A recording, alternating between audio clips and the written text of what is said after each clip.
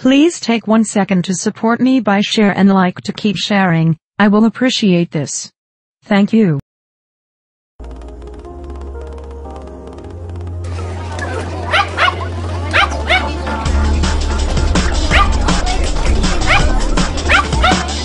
Good job,